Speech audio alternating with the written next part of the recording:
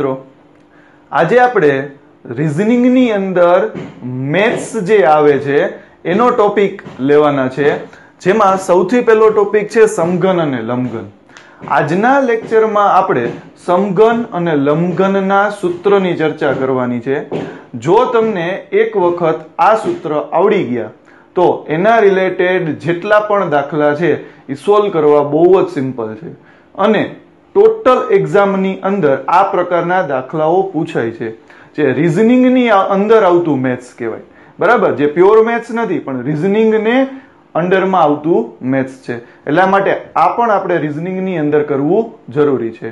તો સૌથી પહેલા આપણે વાત કરી દઈએ સમઘનની અને પછી વાત કરશું લંબઘનની તો સૌથી પહેલા જો આ સમઘન છે આ સમઘનના બે વસ્તુ ઉપર આપણે કામ કરવાનું છે.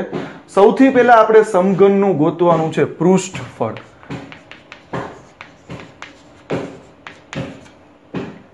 પૃષ્ઠફળ. પહેલા તો આપણે આ વસ્તુ વિશે ખબર હોવી જોઈએ કે પૃષ્ઠફળ એટલે શું?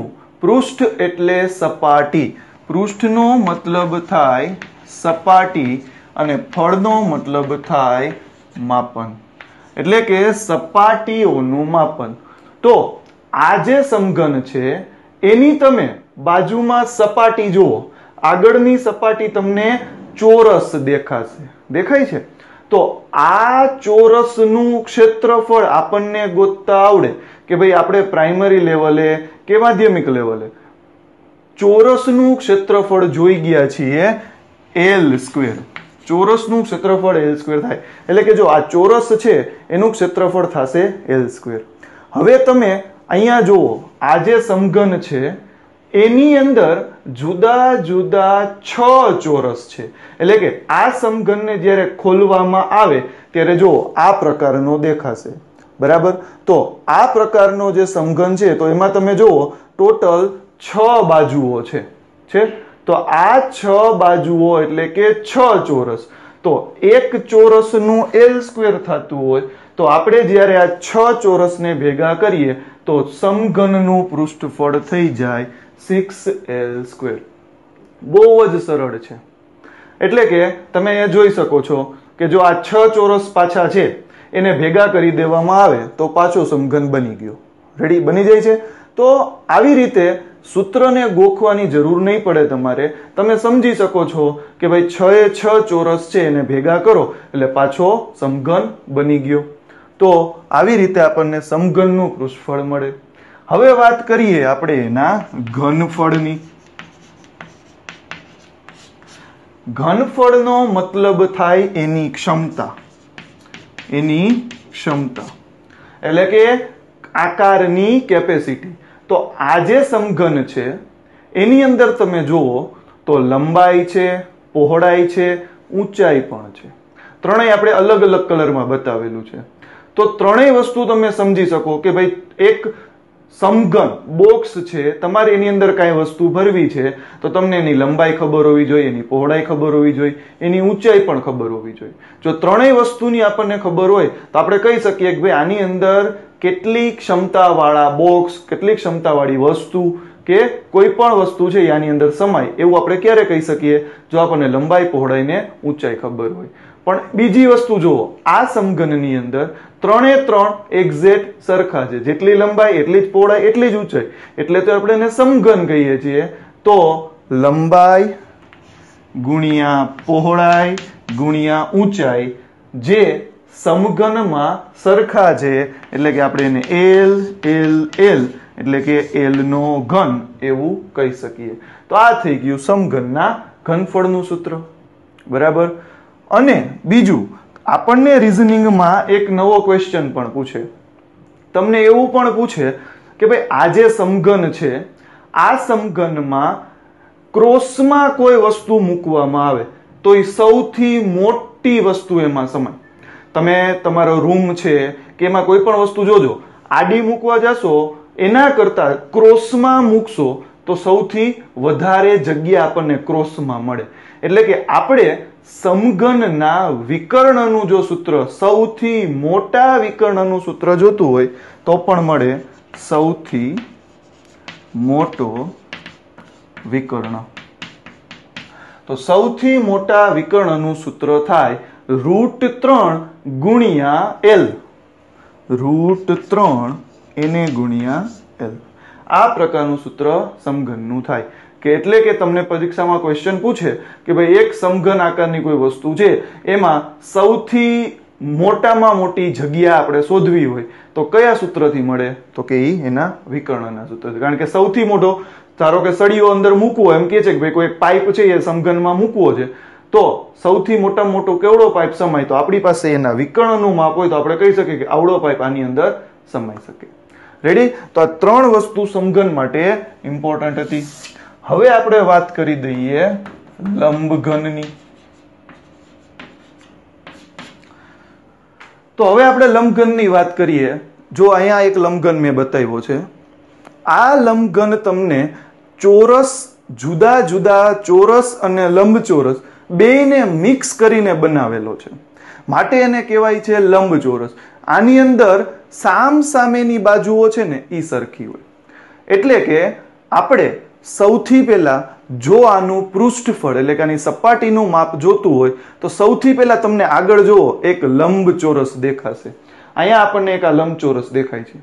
તો આ લંબચોરસનું સૂત્ર આપણને ખબર છે, લંબાઈ ગુણ્યા પહોળાઈ. એટલે કે લંબચોરસનું આપણને ખબર છે.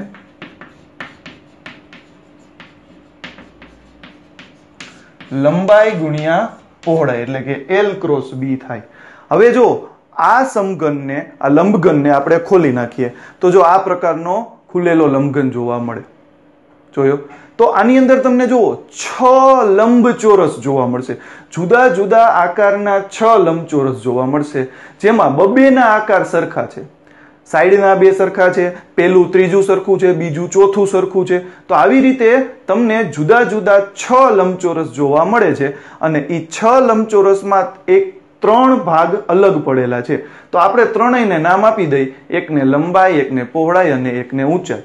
તો ત્રણેયમાં સૌથી પહેલા જો આપણે આના પૃષ્ઠફળનું સૂત્ર જોતું હોય, તો એનું સૂત્ર મળે કે ભાઈ બે ગુણ્યા લંબાઈ, પહોળાઈ વત્તા પહોળાઈ ઊંચાઈ, વત્તા ઊંચાઈ અને લંબાઈ. એટલે કે છ વસ્તુ થઈ. બે, પછી આ ચાર અને બે આ છ. છ એ છ લંબચોરસ આપણે લઈ લીધા. એટલે કે જો તમારે આ જ સૂત્રને ટ્રીક સાથે યાદ રાખવું હોય, તો પણ આપણે આ રીતે રાખી શકીએ. કે ભાઈ તમે એક વર્તુળ દોરી નાખો. એમાં ત્રણ ચક્કર કરી નાખો. એકને એલ કહી દો એકને બી કહી દો એકને એચ કહી દો તો જો શોર્ટકટમાં સમજવું હોય તો આવી રીતે થાય. એલથી હેન્ડલ પકડવાનું એલ બી બી થી પાછા એચ પાસે જવાનું. તો એચ બી એચ અને એચથી પાછું એલ પાસે જાઓ. તો એચ એલ બધાની વચ્ચે સરવાળોને આગળ મૂકી દો બે.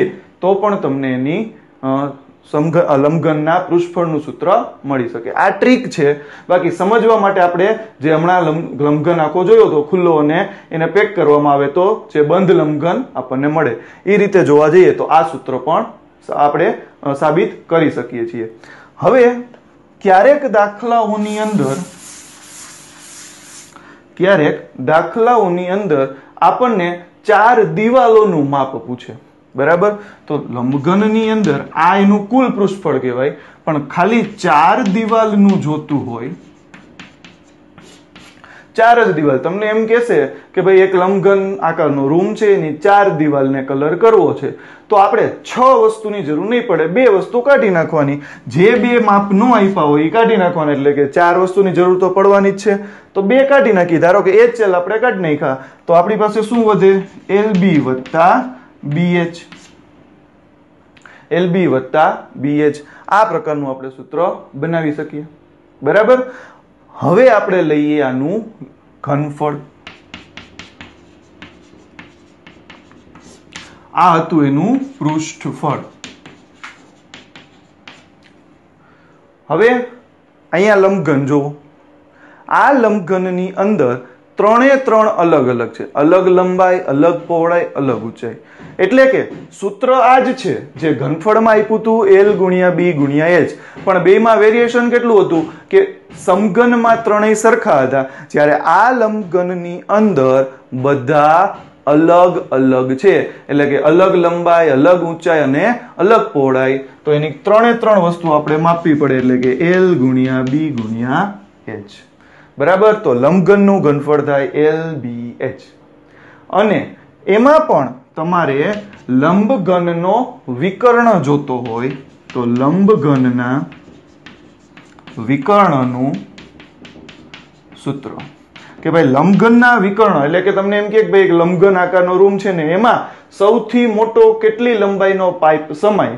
તો એના માટે આપણે એના સૌથી મોટા વિકર્ણનું માપ ગોતવું પડે. સૌથી મોટા વિકર્ણના માપનું સૂત્ર છે વર્ગમૂળમાં એલ સ્ક્વેર વત્તા બી સ્ક્વેર વત્તા એચ સ્ક્વેર. બરાબર?